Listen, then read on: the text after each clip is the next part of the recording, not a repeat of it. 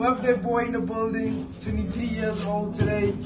Feel way too blessed. Woke up with a high note. So you know what it is, man.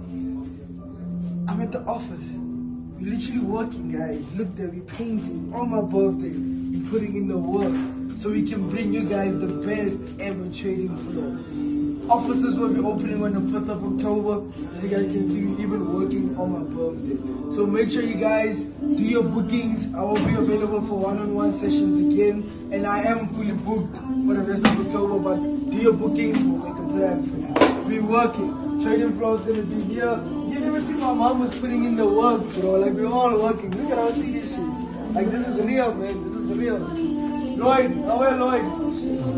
Gonna give you cake, my man. Yeah, yeah, yeah. Now let's put it in the work. so you guys can see. On my birthday, literally. Getting ready floor ready for you guys. So 5 October, make sure you book. We will be open definitely. Have a blessed one.